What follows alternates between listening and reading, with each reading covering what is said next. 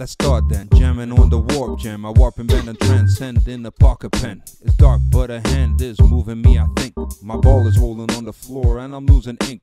Thoughts convert to lines as the pen hits the paper. Lines form into letters and a sentence is created. Expression meets perception and materialization. In our imagination, the story's illustrated. The tour starts down the stairs, music comes towards me. I'm greeted by the smiles of the people at a party. Around the bend, I found a friend who tells me where I am. A freestyle session with a band live at Warp Jam. To see more of the tour, we move up another floor. A hallway with creative open minds and open doors. People making music, images and visuals, photography and films, building analog and digital. I perceive, but I can't believe what my eyes are telling me. Can it really be a rocket to another galaxy? A blast off into space, ground control, do you read? Yes, indeed.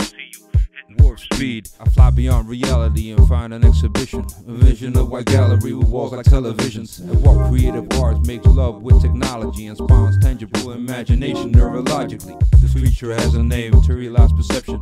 If it's really real, is anybody's question. Matter materializes just because we perceive it. And minds create perception, no one ever really sees it. Then space and time may not exist, my head is gonna burst. I'm checking into sick house to get safely back to earth. Thank you.